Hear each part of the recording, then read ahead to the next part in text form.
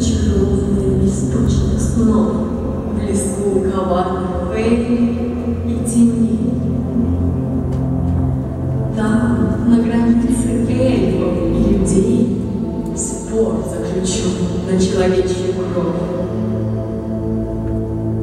Кому принадлежат источник будет?